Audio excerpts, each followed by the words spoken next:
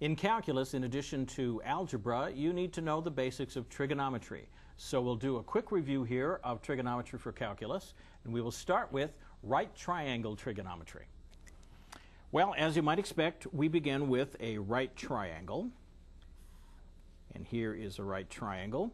And we'll mark the angle here at the left as t. And we are going to be talking from the point of view of this angle, from the point of view of angle T.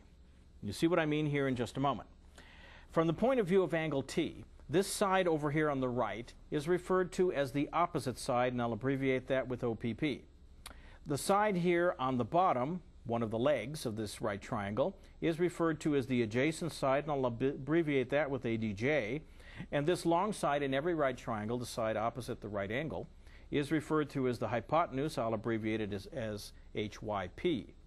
Then with respect to those three sides, there are only six possible ratios that you can make of these three numbers. They have been given names. Those names are the following. The sine of the angle t, that's the way that is denoted, will be defined to be the ratio opposite over hypotenuse. The cosine of t will be defined to be the adjacent over the hypotenuse. So there's two of them. Let's go a little further. The tangent of t is defined to be the opposite over the adjacent, and the cotangent of t is defined to be the adjacent over the opposite. So there's two more. I said there were six. The secant of t is defined to be the hypotenuse over the adjacent, and the cosecant of t is defined to be the hypotenuse over the opposite. Those are the only six possible ratios of these three numbers which represent the lengths of these sides. And they are given these historical names, and these are called the six trigonometric functions. now, on the coordinate plane, which is where we operate after all, how would we interpret these right triangle functions? Well, first thing we need to do is draw ourselves a circle, and we'll show how this fits in here. Draw the coordinate axes through the center of that circle.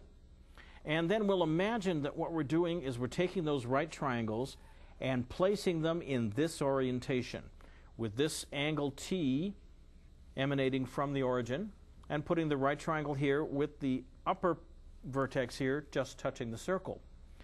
One other note that we will make, in order to make this standardized, we will assume that the length of the hypotenuse is 1. That will make things easier. Now, as you recall from the previous page, the sine of t was defined to be the opposite here over the hypotenuse. But the hypotenuse is just 1, so the opposite actually represents the sine of the angle. And so this is actually sine of t. Likewise, the cosine of t was defined to be the adjacent, which is this side, over the hypotenuse, which again is 1, which means that this side here has length exactly equal to cosine of t. So you see the advantage of having the hypotenuse be equal to 1. So that means this point here has coordinates cosine of t, sine of t. And now we are in the coordinate system that we are used to. This circle here, since it has radius 1 as is centered at the origin, is called, of course, the unit circle. And just as a note, the circumference of this circle, we'll use this in just a minute, the circumference of this circle is equal to what? Well, circumference, you may recall, is 2 pi times the radius of the circle, 2 pi r. The radius is 1, so the circumference, that is the length around, is exactly a length of 2 pi units. Let's observe one other thing in this picture, that we can reinterpret the tangent, for example, differently from we did on the previous what we did on the previous page. The previous page we said the tangent was the opposite over the adjacent. Well, notice that the opposite is the sine and the adjacent is the cosine. So that means the tangent can be interpreted as the sine over the cosine. That will be very handy. Likewise, the cotangent can be interpreted as the cosine over the sine. And then the other two functions, the secant of t can be interpreted as 1 over the cosine of t, and the cosecant of t can be interpreted as 1 over the sine of t. Now, what's the advantage to all of this? Well, everything is written in terms of sine and cosine. So if we learn everything we can about these two functions, we'll be able to calculate all the other trigonometric functions. Now, before we go any further, let's talk about how we measure angle size. Because there are two measurements that are common, one of which we will abandon for the most part. So, if we are again looking at our picture, here is our unit circle. Here are the axes running through it. Here is the angle T here. And here I'll mark the hypotenuse is 1 again. This angle here, in the kind of measurements you may have seen before now, this angle was measured perhaps in angle, in, in degree measure.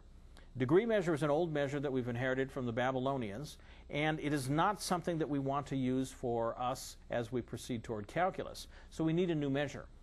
What we will do is we will say the measure of the angle is the measure of this arc, which is cut by this angle, as long as the circle is the unit circle, and the angle is starting here from the center.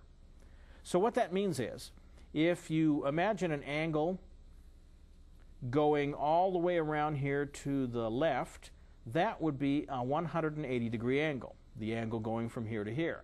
That would be in degree measure. What would it be in this measure here of arc? Well, we'd need to know the arc of half the circle. But wait, we just figured out that the circumference of the circle, the whole circle is 2 pi, so this half must be a length pi, which means we've just come up with the strange equation that 180 degrees equals pi. This angle measured as 180 degrees is also the angle measured as pi. So we need to write that down somewhere. Let's write that down here. Pi, and when we have units that are measured in terms of the arc length of the circle, we will use the word radians. So pi radians is equal to 180 degrees. That is the key equation that you need to remember about angle measure and translating between the two common measures. So if you remember this, you'll be able to work forward. For example, if I want to know something in radians, first of all, let me find what one radian is. How would I get one radian? Well, I'd divide by pi. I'd get one radian. That means one radian would be 180 over pi degrees. Likewise, if I want one degree, I would divide the right-hand side by 180, and so I would have pi over 180 radians. So now I have a way of going from radians to degrees and degrees to radians. Just that simple. All right. With that in mind, let's look at some familiar angles so we can see how they look in both forms and then maybe learn some properties of them. Familiar angles. Well, there are some angles I know you're familiar with, like 90 degrees, 60 degrees, 45 degrees, and 30 degrees. What will those be in terms of radians? Well, if 180 degrees is pi, 90 degrees must be pi over 2. Likewise, 60 degrees is pi over 3, 45 degrees is pi over 4, and 30 degrees is pi over 6. So there are some of the familiar angles written in radian format, and you should learn the radians because that's what we will use throughout calculus. Now, there are ways to remember the trigonometric functions of some of these, and let me give you two pictures that I think will help. Draw yourself a right triangle in which the legs are both of length 1. Of course, that makes the hypotenuse of length square root of 2. If this is a triangle with length 1 legs, then that means the two angles here are the same and they're both pi over 4. You might call them 45 degree angles. That means immediately by looking at this picture, which is easy to draw, I can see that the sine of pi over 4, which is the opposite over the hypotenuse, is going to be 1 over the square root of 2. But that's the same thing as the adjacent over the hypotenuse, so I've learned that the sine and the cosine of pi over 4 are the same thing, 1 over square root of 2. And so on. You can do all the other trig functions based on this simple picture if you're interested in the angle pi over 4. What about other angles? Well, not all of them have nice pictures, but here's another one that does. Suppose we take what you might think of as the 30, 60, 90 triangle, which would be pi over 6 here for 30 degrees, pi over 3 for 60 degrees. And I recommend that you memorize one fact about this triangle, one trigonometric fact, which is that the sine of pi over 6 is equal to 1 half. That's one fact to memorize. That means that here's pi over 6, it's opposite over hypotenuse. So 1 half is the sine of pi over 6. Now that makes this third side equal to the square root of 3. You can check that with the Pythagorean theorem. So with that information, you can go ahead and write down other trigonometric functions evaluated at these angles. For example, the cosine of pi over 6 is the adjacent over the hypotenuse. That will be square root of 3 over 2. But notice if you look at it from the point of view of this pi over 3 angle, it is the opposite over the hypotenuse, which means that that's also equal to the sine of pi over 3, and so on. You can get all the other trigonometric angles, uh, the two angles here, pi over 3 and pi over 6, and all the trigonometric functions of those angles just by looking at this picture. So that's a handy device. With the trigonometric functions defined, we can now look at their graphs in the coordinate system. Now, I won't draw all six graphs. What I will do is give you a selection of ones that are of particular interest. Now, you know that everything's written in terms of sine and cosine, so really I only need to give those two, but I will do two more just to make things clear, I hope. First of all, let's start with y equals sine of x. And you may notice I've switched to the letter x. I've abandoned using t here for the angle because when we graph our functions in the xy system, we have x and y as our variables. The graph of the sine function looks something like this. It is a graph that goes no lower than minus 1 ever, never higher than 1. It will oscillate in this fashion forever in both directions, left and right. It crosses here at 0, of course. The peak here is at pi over 2. That's where the sine is equal to 1. And it goes to 0 at pi. Then it gets its lowest point here at minus pi over 2, and then this is minus pi, and so on. And so its period, which is the time in which, if you go from left to right, the time or the length in which it covers all of its various behaviors from 0 down to minus 1 and back up again, is 2 pi. So it has a period of 2 pi. I guess I could write that down. That doesn't hurt. All right, what about the next function that I'm going to look at? Well, let's look at the cosine function because it too is another very familiar function. The cosine function is really just a shifted version of the sine function, which makes it easy to remember. In the cosine function, the hump is on the y-axis like that. So it goes up to 1 here, goes down to minus 1, continues in both directions, oscillates up and down like this, crosses back here at minus pi over 2, is 0 at pi over 2, has its lowest point at pi, of course its highest point at 0, and this last point is 3 pi over 2.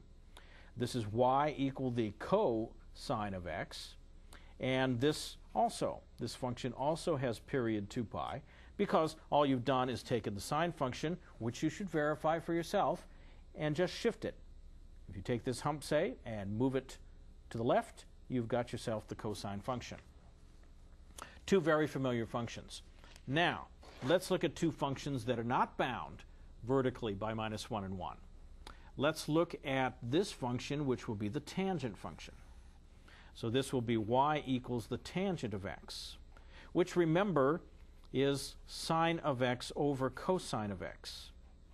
So this is a quotient, so wherever the bottom is 0, wherever the cosine went to 0, this function will be undefined. And what happens is that at such points, we get vertical asymptotes for this function. It is undefined here at pi over 2, here at minus pi over 2. In between, if you graph it, the function looks something like this. And it goes down to minus infinity and up to infinity. So it's not bound by minus 1 and 1. And it has these funny little breaks. And then if you go another distance, and this distance here is a distance pi, which means the period of this function is pi, unlike the other two functions. And if you go that distance left and right, the function just repeats, like so. So this is a function that has breaks in it at regular places because it's periodic and looks very different from sine and cosine but is derived from them. Finally, let's go ahead and take a look at one more function. This will be y equals secant of x, which you may recall is 1 over cosine of x. So again, wherever cosine is 0, this function will be undefined. And the way I like to draw this function is as follows. Since it is 1 over cosine of x, dot in the cosine function for ways in both directions, like so. So that means this will be 1, this will be a depth of minus 1. And then wherever the cosine is 0, the secant function will be undefined, so you can draw a vertical asymptote there. And there are many of them, of course. It's periodic. And then the secant function is just a hump on top of each one of the cosine humps, going down for these ones below and going up for the one above. And that is the secant function. It is in pieces also, just as the tangent function was in pieces. It is divided up according to these regions here. And it takes two of these to get the whole picture of the secant function. And that is the same length as the period here of the cosine function. So the period of the secant function is, in fact, 2 pi. You should check the other two functions on your own to see that they have graphs that are built upon the functions they are built from. When you study trigonometry, you may have run across what are called trigonometric identities. And you may remember that there are a lot of them. And in fact, there are a lot of them. But what do you really need for calculus? Certainly a first course in calculus. These are the ones, and I call them the handy trigonometric identities. First, once again, let me draw the unit circle here. And I will show you some facts that are easy to remember. Suppose we have our angle here, t, as we've seen before. And remember that the coordinates of this point are cosine of t, sine of t, where the x distance here is cosine of t and the y distance here is the sine of t. Now, suppose we ask the question, instead of looking at this angle t, let's look at the angle minus t. So, suppose we have an angle here minus t, and continue this down. This would be the angle minus t. The coordinates of this point, of course, are easy to find because, they, again, it's the cosine and the sine. So this will be the cosine of minus t, and this will be the sine of minus t. Now, what have we learned from that? Nothing yet. But look at what we have. I can rewrite these coordinates. Notice that the cosine of minus t is this x distance, and that it is the same x distance as the cosine of t. So the cosine of minus t and the cosine of t are the same thing. That's part of the identity here. The other part is what is the sine of minus t? Well, the sine of t is this vertical positive distance. The sine of minus t is the same distance, but it's now negative. So this is negative the sine of t. And that's the other identity. So here is the first identity, and by showing that cosine of minus t is equal to cosine t, realize that this says that cosine is an even function. And since the sine of minus t is negative the sine of t, this says that sine is an odd function. So we have learned the nice identities that the cosine of minus t is the same as the cosine of t. No work needs to be done there. And with the sine of minus t, not much. You just realize that the minus comes out front. That will turn out to be very useful later. Also, if we pull out that triangle that was inside the picture a moment ago, that's this triangle where this is t, and this is the hypotenuse of 1. This vertical length is the sine of t, and the horizontal is the cosine of t. Since this is a right triangle, the Pythagorean theorem applies. Well, that leads us straight to the following three identities. Get three for the price of one. These are called the Pythagorean theorem identities. And they're easy to remember because you just look at this picture. In this picture, the Pythagorean theorem says that the sine squared plus the cosine squared must equal 1 squared. In other words, you have this famous identity, and I'll write it this way to be very careful. The sine of t quantity squared plus the cosine of t quantity squared is equal to 1 squared, which is just 1. That is the most famous identity in trigonometry, and you will use it again and again. Sine squared plus cosine squared equals 1. But you get two free identities from this. If you, in this first step, if you divide by cosine of t squared, what happens? Sine t squared over cosine t squared gives you tangent of t squared. Dividing this second piece by cosine t squared, of course, gives you 1. And then 1 over cosine squared is going to give you secant squared. So secant of t squared. And there you have a second identity. Also very handy, relates tangent and secant, just as this one related sine and cosine. And one more time, if we come from the beginning here, and instead of dividing by cosine squared, we divide by sine squared, the other possibility, what happens? Well, sine squared over sine squared gives me 1. Cosine over sine is going to give me cotangent squared. And then 1 over sine gives me the cosecant squared.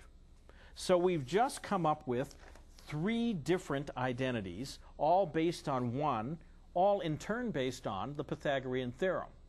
And that will be the last identity we do for this section. In many applications of calculus, such as in physics or in engineering, when you work with trigonometry, sometimes you need to be able to so-called solve for triangles. Well, that involves the use of the laws of sine and cosine very often. So let's go ahead and talk about these. So these are results that are often used in applications. The first one that I will mention here is the law of sines. And what's advantageous about both of these laws is that they don't de depend upon having a right triangle. You can apply this to any triangle. So for example, let me draw something here that looks kind of irregular.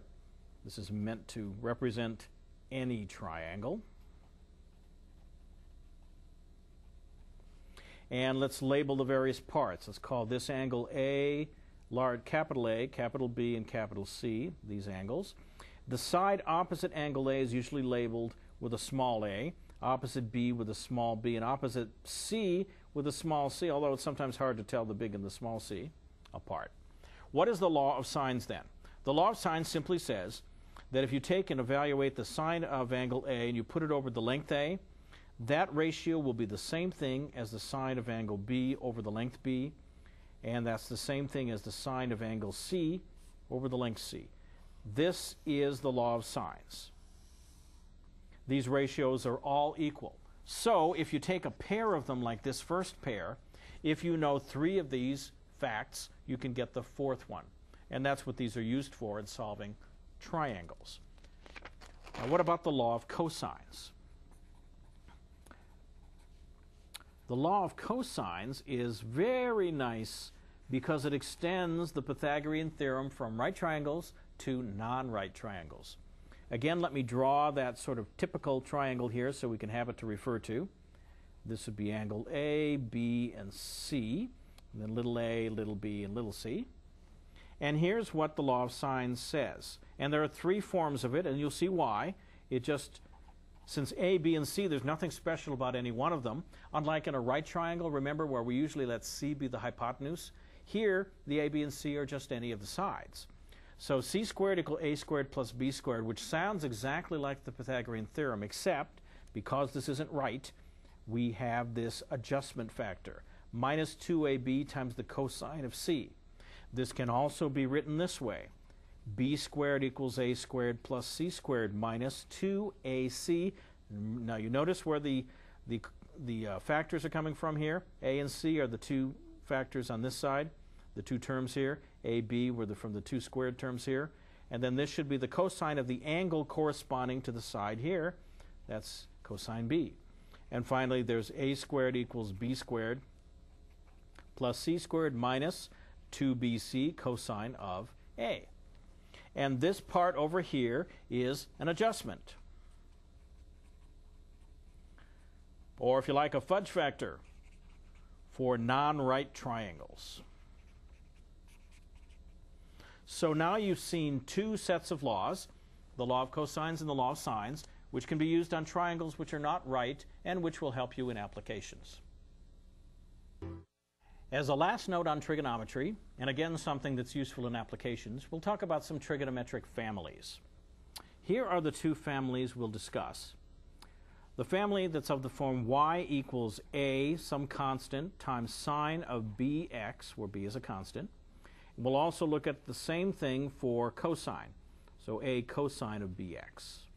So the actual families will have the forms here I am boxing in. These occur a lot in practice. Now let's recall a couple of things before we go any further.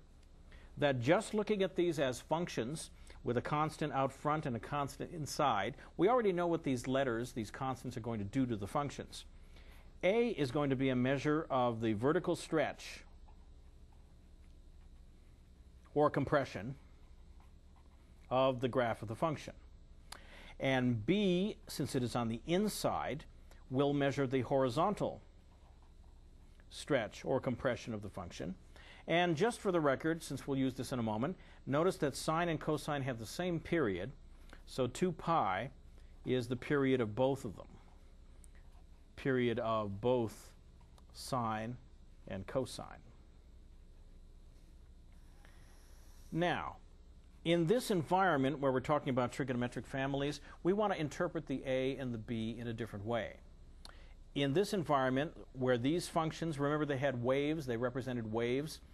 In this environment, the absolute value of the A will represent what's called the amplitude of the function. That is how high and low it goes. If you take the period 2 pi and you divide by the absolute value of b, what is multiplied by the x here, that will give you the period of this family of functions. Now that's opposed to the period of sine and cosine alone. The period of the functions where there's a b factor here will give you the period of the family. Now, of course, as b is 1, we're back to the original period. And then if you flip the period over, the period um, absolute value of b over 2 pi, which is 1 over the period, that gives you a piece of information referred to in physics as the frequency. And these are things that you will see over time, so it's good to know what their definitions are. There are two other versions of this, two other families. For y equal a times sine, and now let's introduce bx minus c, so we've introduced a constant there, or y equals a times cosine of bx minus c. So these now are the new families and all that's new about them is that there's a C in here now. The way to read these is first to rewrite them, and then you can go ahead and interpret them based on what we've already seen. If you rewrite these, y equals a times sine, and we'll factor the b out here. b times x minus c over b. And the other one is the same. I won't write it out. That's similar. Now look what we have here. We have a times sine of b times the variable expression, and all this is is a shifted version of the function that was on the previous page. It is shifted c over b. So this is, and in both cases it will be the same, this is just a horizontally translated graph of, in this particular case, y equal a sine bx with no c involved. And that you're translating by c over b, whatever it is, plus or minus. And so that would be a translation left or right. So if you interpret this, you see that we already have all the information we know to interpret these two families. And that's all we'll say about trigonometry, and get on to calculus. We just defined what it means for a function to be inverse to another function, but we did raise the question that uh, sometimes an inverse may not exist. So we'd like to know when do functions have inverses? So when do inverse functions and their graphs exist? Well, we'll start right out by writing a theorem down. And the theorem is what you want to remember to be able to answer this question, when does a function have an inverse? So a function has an inverse is the first statement. That will happen if and only if, that's what this double arrow mean, means again, if and only if it is a so-called one-to-one function. And I'll give you a quick definition of that. A function is one-to-one if it has the following property. If two x values are different, if x1 is not equal to x2, then the f of x values are off also different. So if the x values are different, they go to different places. That makes a function one-to-one. Now graphically, there's an easier way to tell. A function has an inverse if and only if it is one-to-one, if and only if, again, its graph intersects any horizontal line at most once. So if you draw horizontal lines on a graph of a function and you only hit the function once at most, or you might hit it no times at all, then that function will have an inverse. This last test, by the way, this is referred to as the horizontal line test. And you can compare that with the vertical line test, which tested whether something was a function at all. This tests whether a function is one to one, or if you like, whether a function has an inverse, which is what we're really interested in. Now, in particular, there are a large class of functions that are one to one that you should know about. Increasing and decreasing functions. So increasing and decreasing functions, you'll see in a minute why I'm writing it this way, have inverses. So if you have functions that are increasing or decreasing, they are guaranteed to have inverses. Why? Well, here's the definition of an increasing function. If x1 is less than x2, so you're moving from x1 to x2, the function's graph should go up. So that means that f of x1 should be likewise less than f of x2. And the picture makes that clear. If this is x1, which is certainly less than x2, then the picture you want to go up, and that's reflected by this statement. Well, if x1 is less than x2, they're different, so different points are going to different functional values, which is exactly the definition of one-to-one, -one, and so increasing functions have inverses. Likewise, decreasing functions, if x1 is less than x2 as you move from left to right, then you want the function to go down. So you want f of x1 to be less than, uh, whoops, greater than. I said go down, so greater than f of x2. And you can't go wrong if you draw yourself a picture, even if you say it wrong. x1 less than x2, as you move from left to right, you want to go down. So the f of x1 here should be bigger than the f of x2 here. So we correct that. So increasing and decreasing functions are large classes of functions that you will encounter that definitely have inverses. Now, what about graphing an inverse function? How hard is that? Well, if you know the original function, it's not hard at all. Graphing an inverse function. And here is the reason. If you have a point, say x f of x, and that point is on the graph, of the original function f. So you've got little x here, which is going under f to f of x. Then,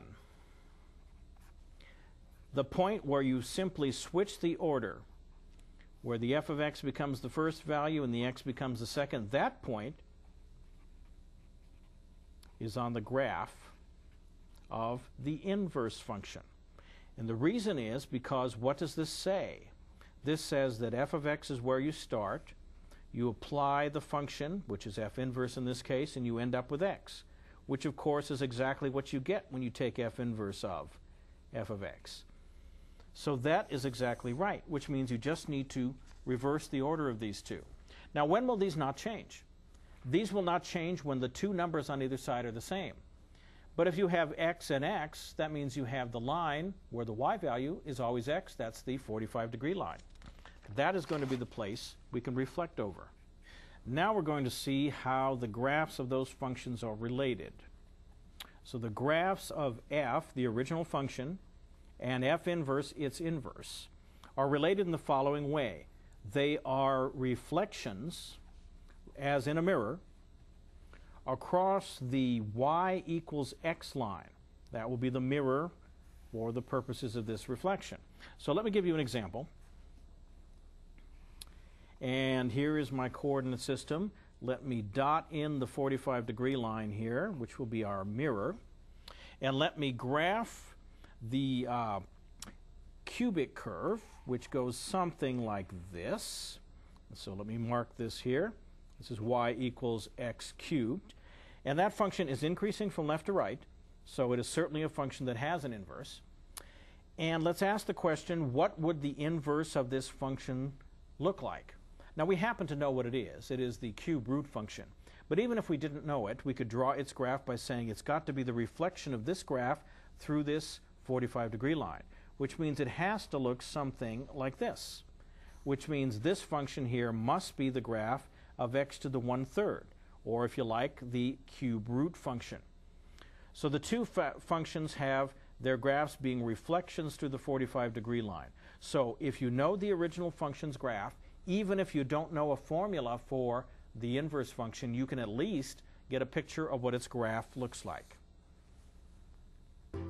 Although the most familiar sorts of inverse functions we will be looking at will be the exponential and logarithmic functions, there are cases involving what are called the inverse trigonometric functions that we want to talk about. And to start this out, let me say something provocative, that the trigonometric functions don't have inverses, which would seem to make this section superfluous. So I need to explain what is usually meant by saying inverse trigonometric functions. So we'll do that by starting with the sine function here. And let's look at its picture and see where I'm going to go with this. Now the sine function has a graph that looks something like this. Goes up to 1, down to minus 1. Over here on the right has a peak at pi over 2. At the left it goes lowest at minus pi over 2 and so on. And the first thing you should note is that because of the horizontal line test, this function cannot have an inverse. The horizontal line test, remember, says that if you draw a horizontal line, you should not be able to strike the curve more than once. Well, you can strike this hump, for example, twice. And in fact, if you continue with that horizontal line, we'll strike the sine curve infinitely many times. So the sine curve doesn't have an inverse. So what do people mean when they talk about inverse trig functions? Well, what they mean is that you take the sine function and you restrict it to a piece that does have an inverse. For example, if you take this piece from here to here, where you start at the lowest point and go to the highest, there's no problem. It's a nice increasing piece, and that's going to have an inverse. As long as you don't go over the hump in either direction, you're, you're guaranteed of an inverse. So that's what we will do. And what I will do is draw the graph of the inverse by taking this little piece and re reflecting it across the y equals x line here. And that will be what is meant by the inverse sine function. So that's what people mean when they say this. So come on over here and let's look at the graph. Here's the way to get this set up. The x values here went from minus pi over 2 here to pi over 2 here. So those will now be the y values. And the y values here went from minus 1 to 1, and those will now be the x values. And there will be a point at each corner, and the curve went like this before we reflect it, and once we reflect it, it's going to have a curve that looks something like this. So there's my minus 1 mark there. The curve starts and ends with these dots. It does not continue, it's not periodic. It is a curve that is strictly limited because of where it came from. It's a limited sine function, so it's going to be a limited picture here. Let's talk about the notation used to represent this function. It is sometimes written sine inverse of x like this. It is also written arc sine of x. That's an older notation, but it's, advent, ad, it's advantageous because it has no superscript. On calculators and sometimes computer programs, you'll find it as a sine x very often. But in every case, it is not equal to 1 over sine x. This means inverse. It does not mean reciprocal. Be careful that you don't make this mistake. All right, that is the sine function. What about the cosine function? Can we do the same sort of thing? Of course we can. Let's find the same argument. Now the cosine function looks like this and goes off in both directions. This, of course, is happening at 0. This is at pi over 2. This is happening at pi, and so on. Now, based on what we saw previously with the sine function, what we're going to want to do is take the piece that goes from here to here, this decreasing piece, and be that and take that as the part that we will restrict the cosine function to, and then reflect across the 45 degree line here to get the inverse function. So that's what we'll do. We'll come over here and we will create the cosine inverse function, which will look something like this. Here the x values went from 0 to pi. Those are now going to be the y value domain. The, x, the uh, y values here, of course, went from minus 1 to 1, just as before. And so the x values here will go from minus 1 to 1. And when you take this piece of the curve and reflect it, you're going to get something that looks like this. And that is a picture of the inverse cosine. Again, for notation, sometimes people write it as cosine inverse or arc cosine of x, or they'll write a cosine of x for convenience on a calculator or computer. But in every case, remember, this is not equal to 1 over the cosine of x. That simply is not true. This symbol again means inverse. It does not mean reciprocal. All right. Well, I won't do all six of these functions. What I will do is two, or rather one more, to get you a sense of what this is like. Let's take the tangent function. Now this has a particularly nice inverse, so this is worth doing. And to avoid hitting the tangent function more than once, we will have to limit ourselves, just as we limited it ourselves in the other cases, to a function that has a piece that is increasing. Now, if I put the other pieces in here, the horizontal line test would be violated because it, any horizontal line would strike the curve in many places. So we can only take this single piece. And if we reflect it across the 45 degree line here, you will see that what we get is a nice function that's useful for all sorts of examples later in this course. It will go no higher than pi over 2, and it will go no lower than minus pi over 2. And those will be asymptotes just as they are here from left to right. They're now up and down asymptotes. And the function from below to above went from minus infinity to infinity, so there were no restrictions in this direction. So there are no restrictions here. And if we flip this, we end up with a curve that looks something like this. So this is a very nice curve that is defined for all real numbers left and right, and yet is bound on the bottom by minus pi over 2 and on the top by pi over 2. This will turn out to be very useful. Again, here's the notation, tangent inverse of x, also written arc tangent of x, also written a tangent of x, and of course, as I've mentioned before, this is not the same thing as 1 over tangent of x because this symbol means inverse and not reciprocal. You should try the others to see what they're like. But really, these three inverse trig functions are the ones that are going to be most useful to you and the ones you'll encounter most often. Now, let's say a couple more things. How do you read something like this? Suppose I have y equals sine inverse of x. Now, this will work for the other inverse trig functions also. What, what you want to do is read this as the following this is the angle whose sine value is x. Now that's a phrase you want to get into your head when you see this. You want to say y, or sine inverse of x, is the angle whose sine is equal to x. Meaning, that means the sine of y is equal to x. This turns out to be very helpful in examples like this. If someone gives you this problem and says, simplify the following the tangent of sine inverse of x. Now this looks complicated and it looks unexpected. But if you remember that sine inverse of x is a representation of an angle, this makes perfect sense. Now how would you make sense of this? Well, the key is that if sine inverse of x is the angle whose sine is x, you know more about this angle than you normally know about angles. You know its sine value. So if you just, for the solution here, if you just construct yourself a right triangle and mark this angle as sine inverse of x, because that's the name of an angle after all, and remember that's the angle whose sine is equal to x, and x can be thought of as x over 1. That's opposite over hypotenuse. You now have two sides of a right triangle. You can easily, from that, get the third side.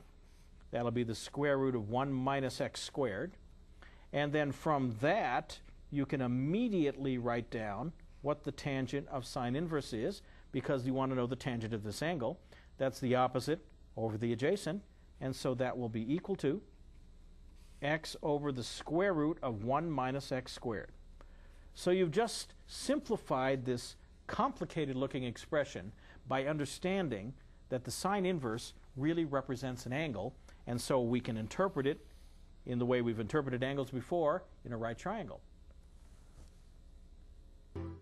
As our last step in this review of pre-calculus, let's go ahead and look at exponential and logarithmic functions, and we'll start by looking at the exponential function family.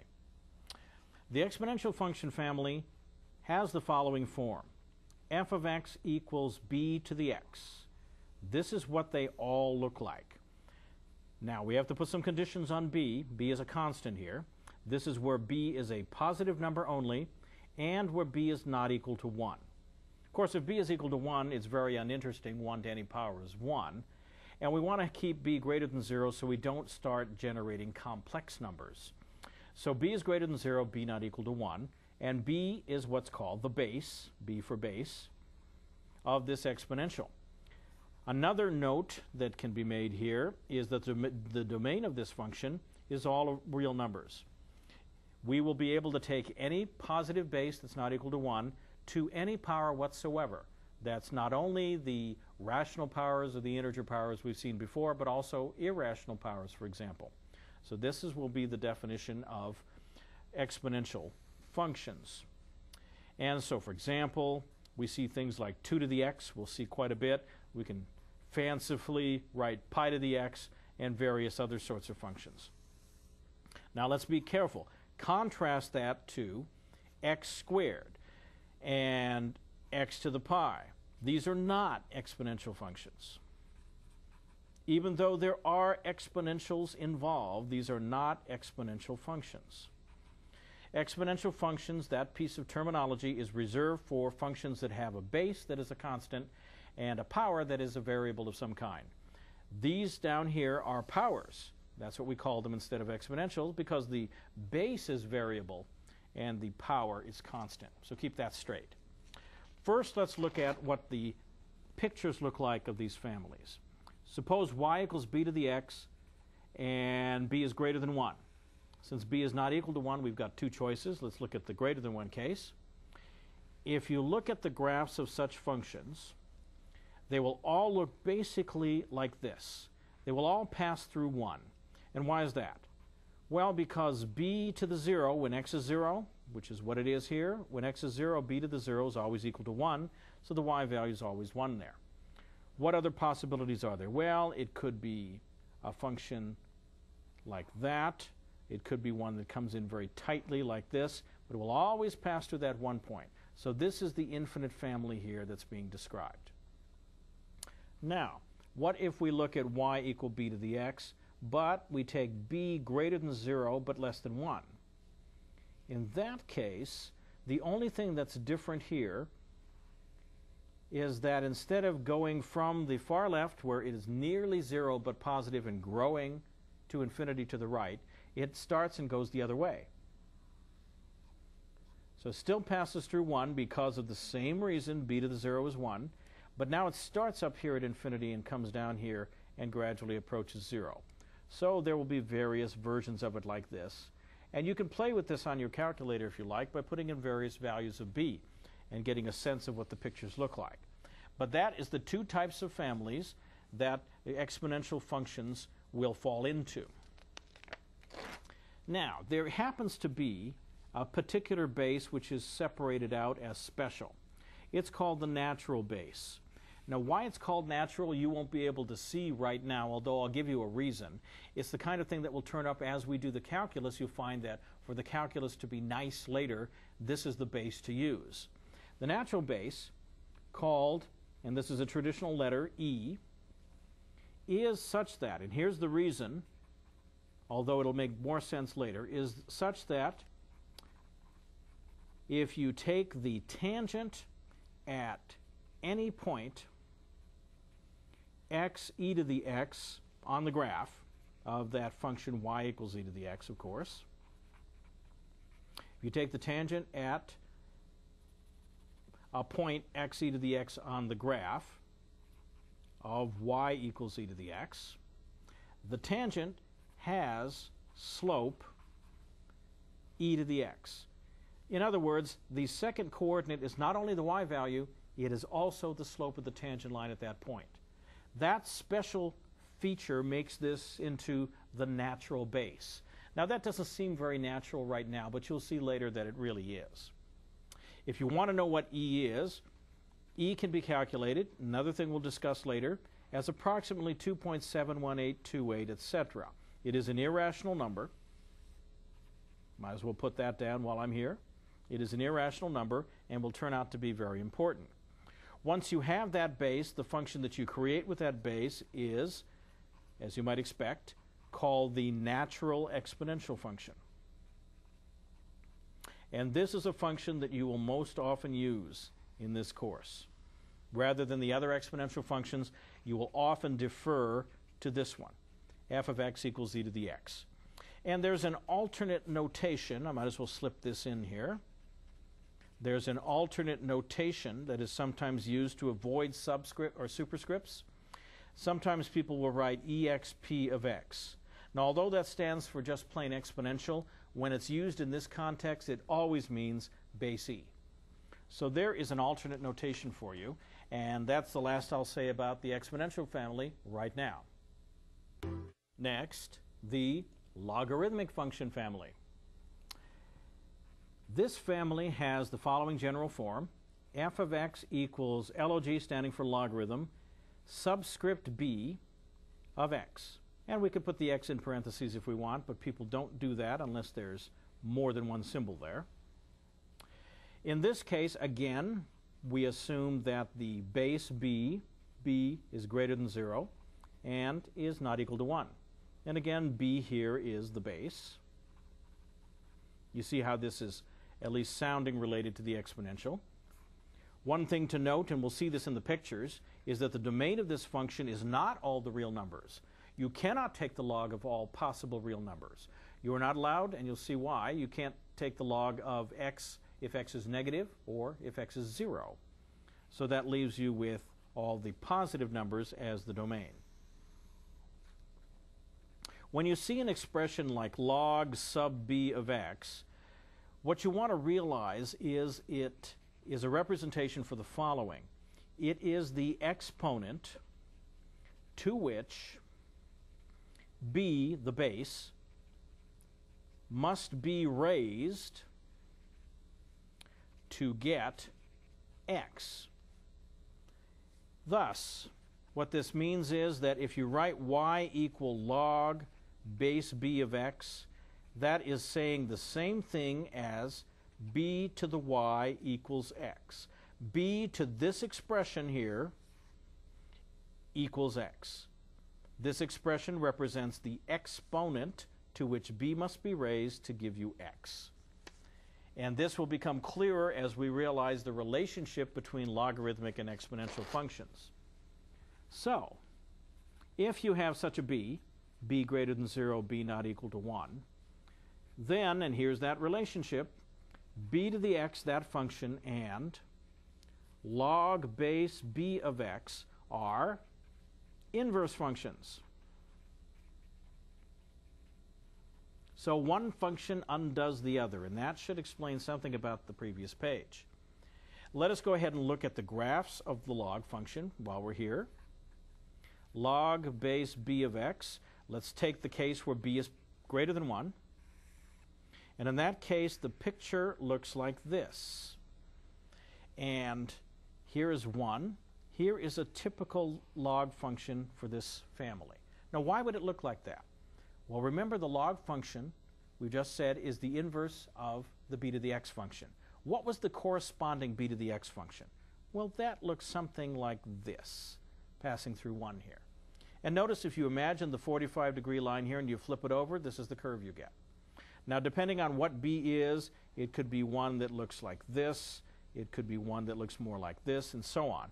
But there's an infinite number of members of this family, and it passes through this point, that is to say, log base b of 1, the x value here, is equal to 0, the y value height, because b, the base, to this exponent 0 is equal to 1, which is what we knew from the exponential curves. That will apply here and to this other case.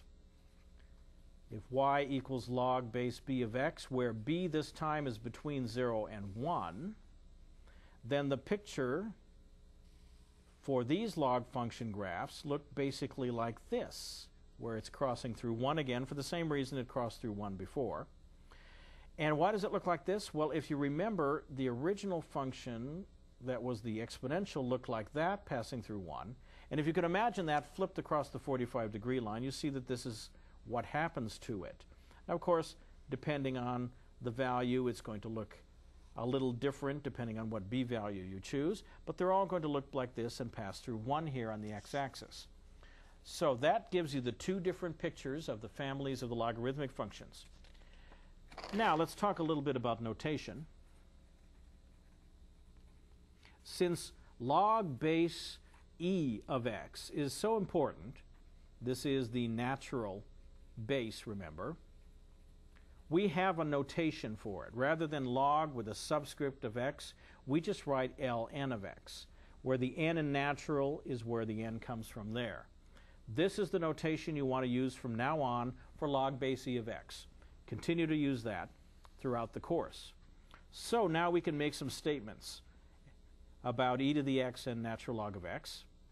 As inverses, we can say the following. The natural log of e to the x is equal to x. For all x, let's see, the x's would have to be in the domain of e to the x, but that's everything. So this is all x's in R. And another way to write this, if we use that alternate notation, is the natural log of exp of x is equal to x. And that may remind you of how we saw inverses work before. There was an f and an f inverse. Likewise, if you take e to the log x power, and the natural log x power, you get x. For all values of x in wherever the x's come from for natural log, which is what's done first, and that's just 0 to infinity, the positive x's. And again, if you rewrite this this way, you won't have this superscript business going on. You can write it as exp of natural log of x, and that equals x. So this may make you feel a little bit more like you're seeing the F-F inverse pattern that we've seen before. But in either case, these are going to be expressions that you're going to use a lot, especially in solving certain kinds of equations. Finally, let's take a look at solving exponential and logarithmic equations. Here are some notes that will be useful in that process. The first thing is, since, and this is a well-known formula, log base b of x can be written as the natural log of x over the natural log of b. And this is sometimes called the change of base formula because you're changing the base from b to base e. In this case, although you can do this with uh, changing of bases between any two bases, we'll use it for natural log. Since you can always write this this way, this means any log that is not base e can be written in terms of base e. So, here is the recommendation that I want to give you. Whenever you do problems involving nat logs or exponentials, use only the natural log symbol and base e, e to the x symbol for calculations. Do your best to put everything in these terms. And that will bear fruit later on as we continue on with the calculus. Another piece of information that you want to recall from your past about logarithms that you will use in solving equations is this. Suppose we have some numbers here. Suppose a is greater than 0, c is greater than 0, and uh, r is some real number. Then there are three logarithmic laws. The natural log of a product is the sum of the logs. That's handy. The natural log of a quotient is the difference of the logs. And finally, the natural log of a to some power, the power comes down out front, and you can write this as r times the natural log of a. Those three logarithmic, logarithmic rules will be ones that you're going to use a lot. But just to give you a little bit of flavor here, let's do one example. And we'll solve for x. This is sort of a classic example, so I like doing it.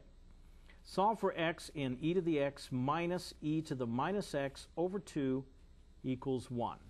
I want to know what x values satisfy that equation. Well, to begin with, let's just see if we can simplify a little bit. E to the x minus e to the minus x over 2 equals 1. I can certainly multiply both sides by 2. So I'll have e to the x minus e to the minus x equals 2. And then I never like having negative powers, so let me rewrite this without that. e to the x minus 1 over e to the x equals 2.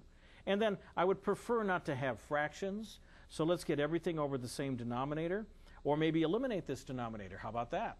If I multiply through the entire expression, and I can write this here to keep track of this, multiply by e to the x, then what do I get? I get e to the x quantity squared minus e to the x over e to the x is 1 equals 2 times e to the x. And then if I pull everything over to the left, I have e to the x squared minus 2 times e to the x minus 1 equals 0. And the thing you want to recognize here with a little thought is this is that this is a quadratic in form.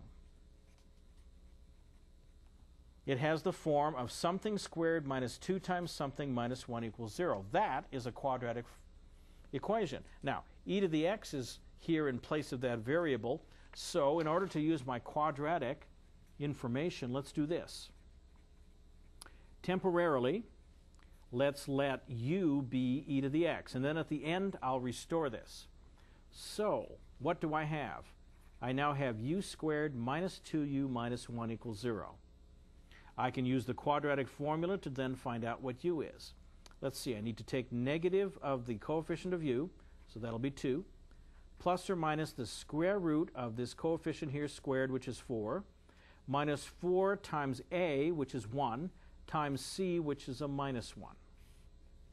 This is all over 2 times a, which is 1. Under the square root, I have 4 plus 4, so I have 8. So this is 2 plus or minus the square root of 8 over 2. And I realize that 8 can be written as 4 times 2, and the square root of 4 is a 2 that comes out. So 2 plus or minus 2 square root of 2 over 2, well, that's nice. I get rid of all those 2's, and I end up with 1 plus or minus just the square root of 2. All right, that is u. I remember that u was equal to e to the x. So let me pull this to the other page so we can keep it all together. Then e to the x must be equal to 1 plus or minus the square root of 2. But wait a minute. e to the x, if you remember its graph, looked like this, is always positive, which means 1 minus square root of 2 cannot occur. This is e to the x is never negative. So we discard that solution, and we know that e to the x equals 1 plus square root of 2 is the only solution that can hold. Now I need to get at the x. Well, I would like to undo the e to the x function. Luckily, it has an inverse, the natural log. So the natural log of e to the x is the natural log of 1 plus the square root of 2. By definition of inverses, the natural log and the exponential function undo each other and leave us with x. So x is equal to the natural log of 1 plus the square root of 2, and that is the solution. Now, if you're really interested, this means that x is approximately equal to 0.881. But for our purposes, this answer is perfectly good, and we have solved that exponential equation. And that finishes our review of pre-calculus. Now for a couple of exercises. The first one is the following. Compare the natural domains of the following two functions. f of x equals x squared plus x over x plus 1, and g of x, the other function, which is just the function x. Give those a try.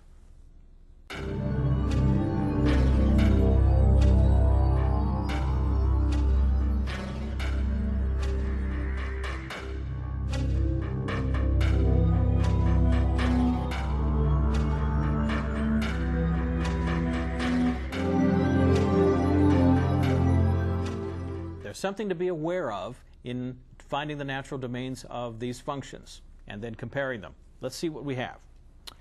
First thing is, let us observe in the first function, f of x.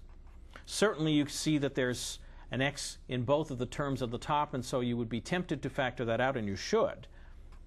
So if I write this as x squared plus x over x plus 1, I can factor an x out of the top and get x times x plus 1 over x plus 1. Now, this is where you have to be careful. The naive student might say, well, x plus 1 over x plus 1 is 1, and I will remove that so that f of x becomes x, which is the same as g of x, and then conclude that the two functions have the same natural domain. But that would not be correct. The reason is x plus 1 has a variable in it. Because it has a variable, it might possibly be 0 sometime. And if it's ever 0, dividing 0 over 0 is not going to give you 1. And of course, it is 0 in one case. It is 0 when x is equal to minus 1. So what happens? In fact, the function x has two parts. It's equal to x if x is not equal to minus 1. If you don't have minus 1 for x, then this cancellation is indeed correct. However, if x does equal minus 1, the function f is undefined. It has no value whatsoever, which means the domain of the function f is equal to everything in the real numbers except minus 1. So you could write it this way as two open intervals, or you could draw it this way in the number line as this is minus 1. It is everything except that number. That is different from the domain of G, which is all real numbers, no gaps because you could put minus 1 in here and get back minus 1, no difficulty. So this is a warning to be careful when you have quotients and not to cancel without thinking. For a second problem, let's look at one that's a bit more elaborate and takes a bit of time to write out. And it is a nice long word problem, you might say, that will allow you to think about several things. So here we go. A company has adjoined a 1,000 foot squared rectangular enclosure. So think of a yard or a pen, enclosure to its building. Okay, we are told that three sides of the enclosure are fenced in.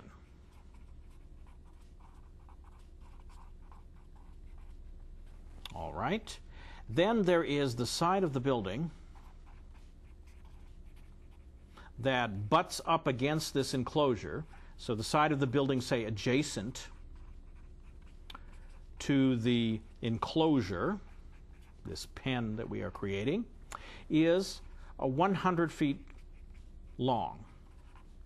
And the enclosure may not be 100 feet long itself, so we'll write down that a portion of this side of the building is used as the fourth side of the enclosure. Okay. Let x and y be the dimensions of the enclosure. And since there are two possibilities, let's just set this where x is parallel to the building. And finally, let's let the letter L, capital L, be the length of the fencing we need, of the fencing required. Now, I haven't even gotten to the question yet. This is just writing down the situation. A company has adjoined a 1,000 foot squared rectangular enclosure to its building. Three sides of the enclosure are fenced in. The side of the building adjacent to the enclosure is 100 feet long, and a portion of this side is used as the fourth side of the enclosure. Let's call the dimensions of the enclosure x and y, where x is measured parallel to the building. Let L be the length of the fencing required. Now, here are your questions. Question A Find a formula for L. In terms of x and y. Second question, B. Find a formula for L in terms of x only, not x and y, just x. Final question. What is the domain of the function that you write down in part B? So there are your three questions. It's time for you to do a little work on this problem.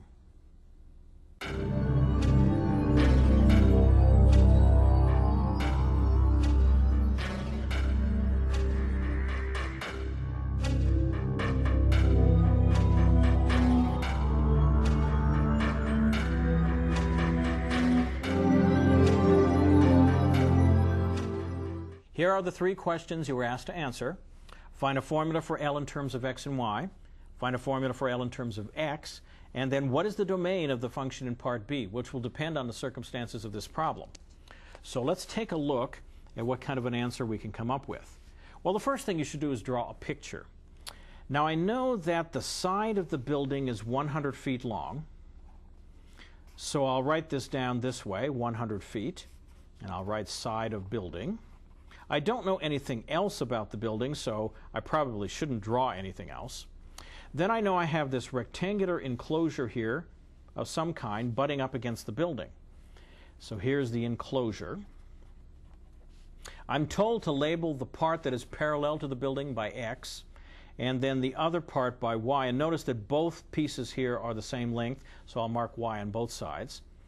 I also have this piece of information that the area of the enclosure is 1,000 feet squared. Okay, well, let's see if we can answer our questions. L is the length of the fencing around this enclosure, and we want to write this in terms of x and y. Well, we just need to look here. We see we have x and two y's, so x plus 2y does the trick. Part B, we want to write the same L, the length of the fencing, but we don't want to use y. So we'll have x plus 2, and now I need to find some other expression for y. Which means I need to go back here and say, is there some information here that would allow me to write x and y in terms of one another? Well, here's a piece of information we haven't used yet. The fact that the area is 1,000 foot squared. Now, the area of a rectangle is defined to be the, the product of the two sides, which would be xy in this case. xy, of course, is given to be 1,000.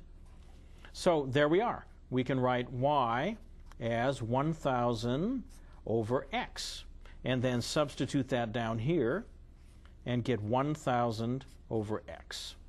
So now we have L written in terms totally of x. Finally, we want to find out what the domain of L is. Well, before I write anything down here, let's make a few remarks. First of all, x cannot be 0. Why would that be? Well, look up here. x times y has to be 1,000. If x is 0, that would make this side 0, and that wouldn't happen. So x certainly cannot be 0. x can't be negative. Why is that? Well, that's from the circumstances of the problem. There's no mathematical reason why x can't be negative. But in the problem, notice that x represents a length, and a length is either zero or positive, but never negative. So here's a restriction that's determined by the problem, not by the mathematics. Finally, this picture also suggests that x is the length of the enclosure in this direction. The side of the building is only 100 feet, and this has to butt up against it. So the largest x could be would be 100. So x has to be less than or equal to 100, also determined by the problem. Putting these all together tells us that the domain is going to be 0 to 100, 100 here, where 100 is included. So it can be 100 feet, or it can be anything bigger than 0 but not 0. So uh, that is the domain for this function. Those are the x values that are allowed. So these are the allowable x values.